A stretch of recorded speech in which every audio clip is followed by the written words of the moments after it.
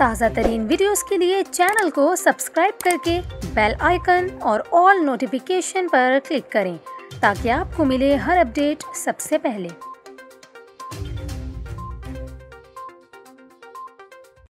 और अभी आपको बताएँ इंस्टाग्राम की दोस्ती पर आशना से मिलकर शोहर को कत्ल करने के इल्ज़ाम का सामना करने वाली गिरफ़्तार मुलजिमा ने कराची के थाने में बरहना करके तशद करने और वीडियो बनाने का इल्ज़ाम आयद किया है मुलजिमान को, मंगल को।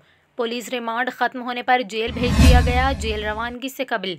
मुलजिमा ने एक वीडियो बयान रिकॉर्ड कराया, जिसमें मुलजिमा ने मुकदमे के मुदई और ख़ातून एस एच ओ पर संगीन इल्ज़ाम आयद किए हैं। मुलजिमा का वीडियो बयान में कहना था कि मुद्दई मुकदमा रिजवान तफ्तीशी अफसर के पास थाने आता था और मेरे पाँव पर पाँव रखकर सिगरेट पीता रहता था।